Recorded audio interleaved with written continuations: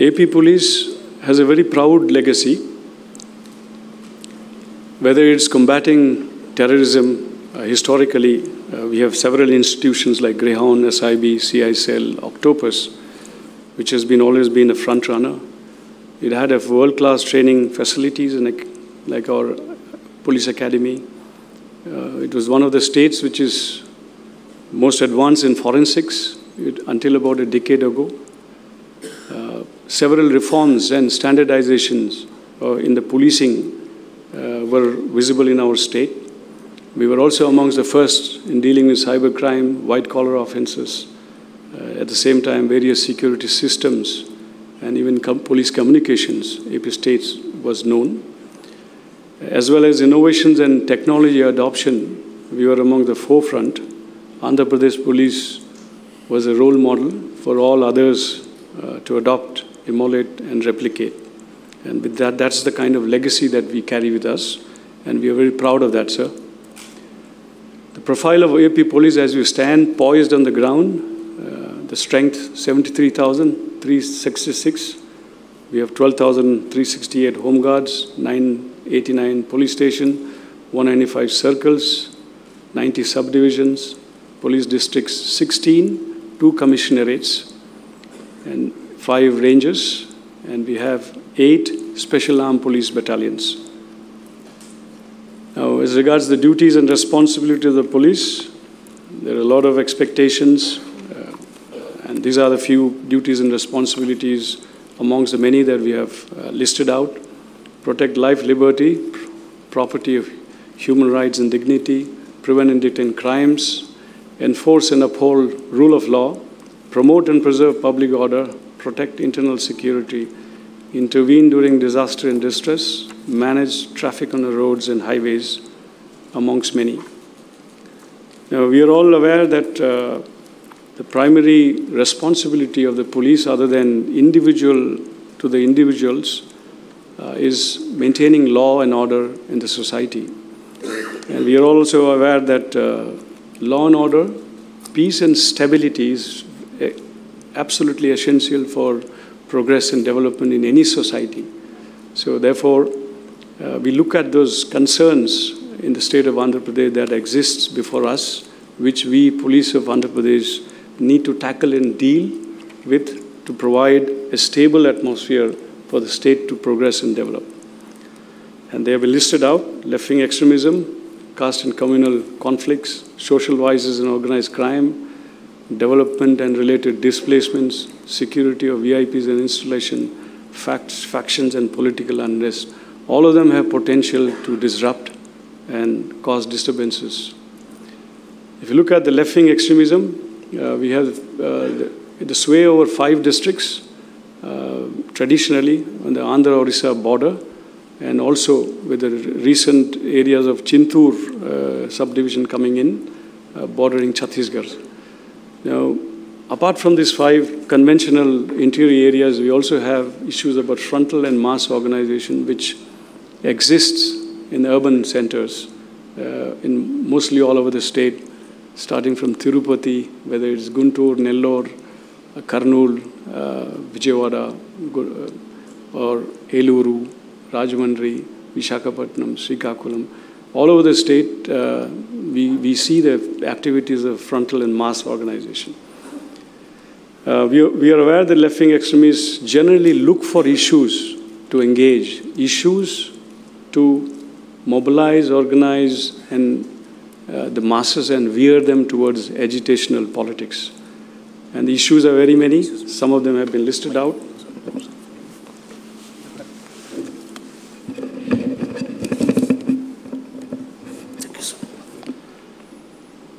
Some of the issues have been listed out, but they are not all uh, encompassing because issues keep emerging and they'll keep looking for opportunities to engage and involve in issues uh, and around which they would like to uh, create awareness, uh, generate uh, interest of the masses, mobilize them, organize them, and then lead them, veer them towards agitational politics and thereby create disturbances in the society.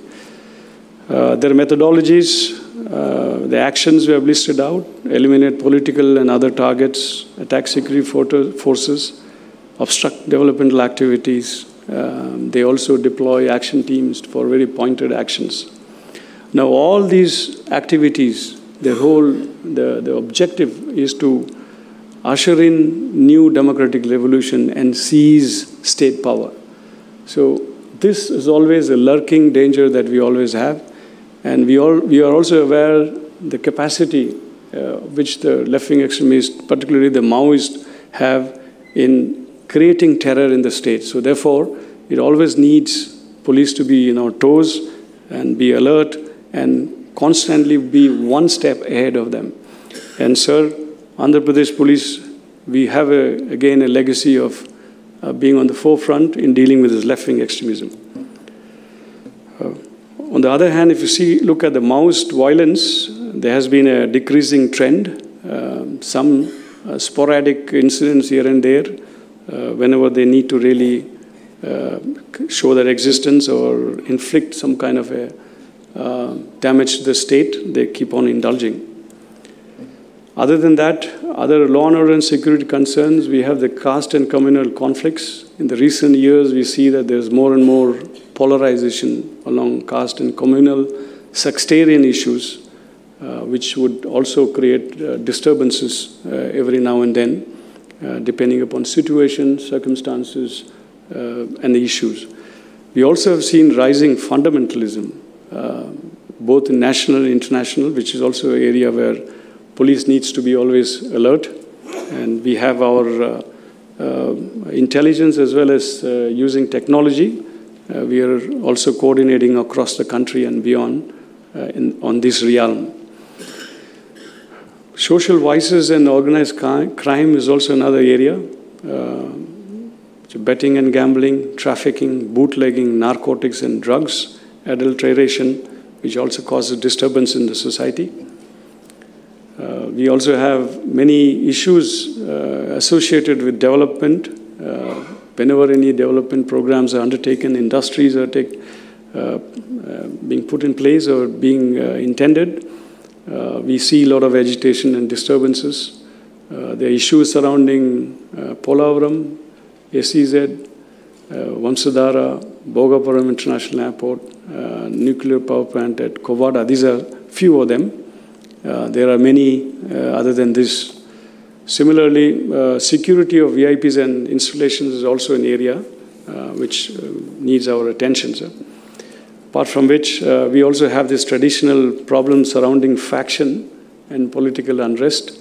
Uh, particularly post-elections, we still have some simmering issues emerging, but we anticipate that it's not an organized but a very localized so therefore, uh, very soon we would be able to contain them, sir. But as long as it exists, it will cause disturbances uh, in, the, in the society. Um, with the post-election uh, and upcoming local body elections also, we uh, need, there's a need for us to be uh, quite um, prompt on that, on our toes. Now, coming to crime, sir, if you see, this is a broad outlook in terms of the nature of crime, what is reported in Andhra Pradesh, uh, we have about 880 murder cases annually. Uh, we also listed crime against women. Uh, that's also a priority area, a matter of concern for us, um, as well as road accidents. Um, last year, as many as 7,400 people died, lost their lives on the roads. And last year has been uh, the minimum because year before last, last two years, it had crossed 8,000, 8, about 8,500 and 8,100 odd was the figures. So there is a huge loss of human life, precious lives. So there is a need for us to look at that area as well. Now looking at uh, crime patterns and trends in the state, uh, we see once again uh, bodily offenses, crimes against women, uh, white collar crimes and fat road accidents to be one of the major uh, heads of crime that uh, engages us. Property, as regard the property offences, there is a decreasing, decreasing trend visible, sir. If you, if you compare to up to the up to May, and one of the reasons is uh, uh, is basically police being very brisk and present on the ground in the wake of the elections that we had. As regards property offences, uh, the top five units uh, where the property offences are maximum are listed uh, Vijayawada City, West Godavari, Guntur Urban, Nellore, and East Godavari. Similarly, the bodily offences, uh, overall there has been uh, a decrease, but if you look at uh, up to May, we see that rioting and hurt cases have been increased. That is again primarily related to the election campaign and post-election time. And as regards bodily offences, uh, the first top five units, uh, as usual, Guntur rural uh, has seen the maximum number of instances of bodily offences, uh, which is also a matter of concern. If, it, if the pattern becomes a little huge, uh, there's a matter of concern needing interventions and special measures for that. Uh, white collar offences, there is an increasing trend in the white collar offences. Uh, if you see, uh, mostly um, cheating and uh, criminal breach of trust, and as well as what is that? A new, the new areas, new domains, which is cyber crime, which will come to that later. And if, amongst the white collar offences, we see the um, maximum in West Godavari, Visakhapatnam city, Vijayawada. And this may also have its own peculiar characteristic in a very localized manner. Crime against women, uh, there has been a decreasing trend overall, but uh, it's an area of concern and a very continuous engagement from our side. There will be special measures from our side uh, addressing uh, primarily crime against women and children. And this is one area where always no amount of work is enough because not all crime gets reported because of uh, the reasons uh, that is exists in our tra tra traditional and conservative societies. Uh, if you look at the crime against women, once again, uh, Guntur, Krishna, Kurnool, Visakhapatnam city, and West Godavari has registered the maximum number of cases. And crime against women, as I said, also relates to uh, the ease of reporting. And in some state districts, we see that uh, they come forth and uh, complain. Cases against uh, the weaker sections, uh, particularly SC, ST uh, offences.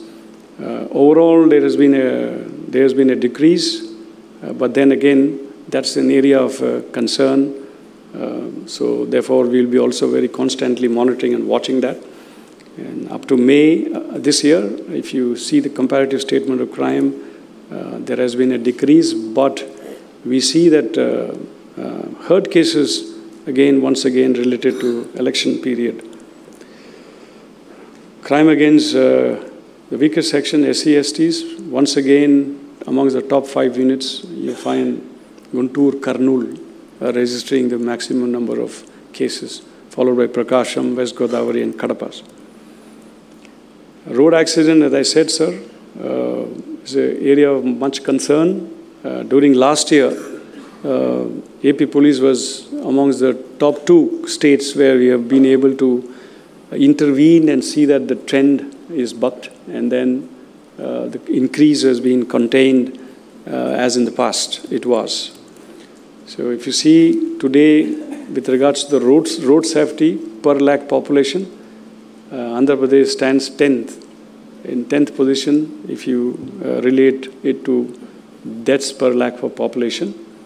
As I mentioned, 2018 it was the second best performing state.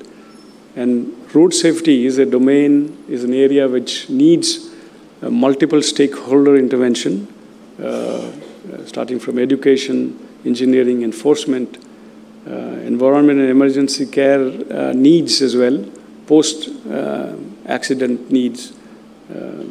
also, integration of all emergency response and stakeholders to reduce the death. the golden hour concept is very critical uh, during road accident uh, strategies that uh, we put in place. There is also a need to evolve, evolve a state policy and a strategy to deal with this, with the rate kind of casualties that is being visible on the ground on a daily basis. Hi, it's me Nandita Shweta. Please subscribe to Mirror TV. Please subscribe to Mirror TV. Please subscribe to Mirror TV. Please subscribe Mirror channel.